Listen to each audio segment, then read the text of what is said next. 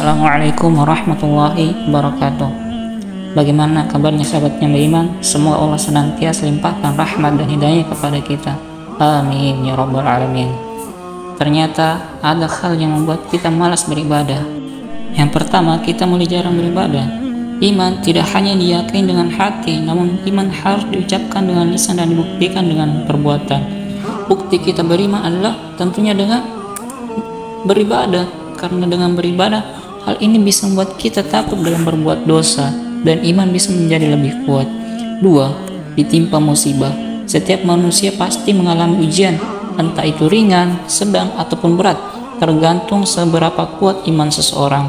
Ada yang imannya yang menjadi lemah ketika ditimpa musibah, karena bisa jadi itu membuatnya menjadi sulit untuk mengambil keputusan dan membuatnya mengambil keputusan yang bisa melanggar aturan. Padahal kita yakin dan percaya pada Allah. Dan ingat semua terjadi karena Allah. Dan semua pasti akan teratasi jika kita yakin dan percaya pada Allah. Karena setiap ujian pasti akan ada kenikmatan di akhirnya. Tiga salah memilih pergaulan ataupun teman. Kenapa? Karena pergaulan sangat mempengaruhi kita jika kita bergaul dengan orang yang rajin sholat, tentunya akan ada rasa tidak enak jika melihat saudara kita beribadah, namun kita diam saja. Seperti halnya jika kita berteman dengan penjual parfum dan pandai besi, pasti kita akan terciprat baunya. 4. Kurang bersyukur. Kenapa?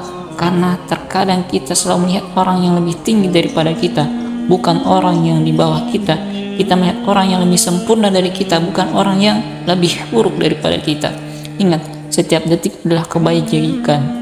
Ingat, setiap detik adalah keajaiban, dan di balik setiap nafas adalah rahmat yang tak terhingga. Bersyukur adalah membuka pintu kebahagiaan sejati. Jangan pernah lupa, di tengah hiruk pikuk hidup ini, kita selalu memiliki alasan untuk bersyukur. Bersyukur adalah anugerah terindah untuk diri kita sendiri. Mari kita bersyukur, karena siap syukur kita, kita bisa menemukan keajaiban kehidupan yang tak terduga.